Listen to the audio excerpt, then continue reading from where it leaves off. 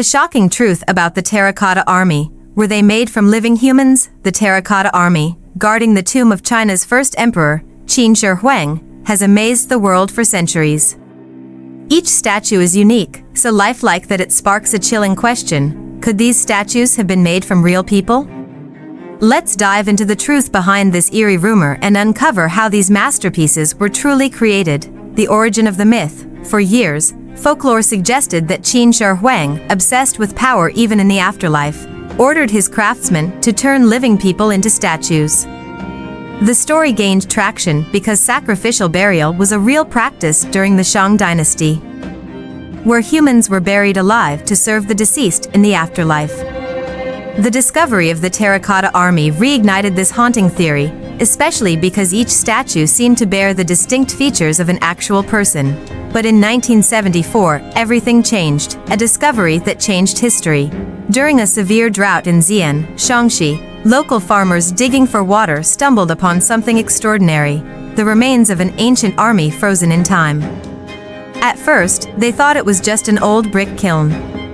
But as more artifacts emerged, terracotta statues, weapons, and more, the world realized they had uncovered the tomb of Qin Shi Huang. The terracotta army stood out not just for its scale, but for its incredible detail.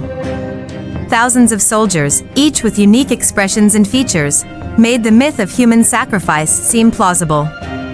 But then, a breakthrough came, cracking the myth. When one of the terracotta statues cracked open, archaeologists found something unexpected. The statue was completely hollow.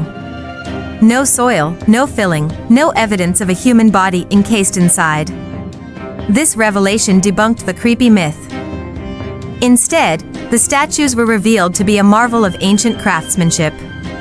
Using advanced ceramic firing techniques, artisans first shaped molds for the figures, then added fine clay layers to sculpt intricate details. These layers gave each soldier its lifelike face, expressions, and even personality. The craftsmanship showcased an incredible level of artistry, proving the skill and dedication of the people who built Qin Shi Huang's eternal army, the real legacy of the Terracotta Army. The Terracotta Army isn't just a testament to one emperor's ambition, it's a window into the incredible artistry and innovation of ancient China.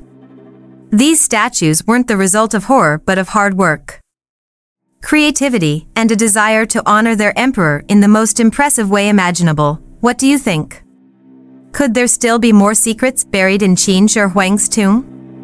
Share your thoughts in the comments below, and if you love uncovering fascinating stories from history, don't forget to like this video, subscribe to our channel, and hit the notification bell to explore more amazing discoveries with us.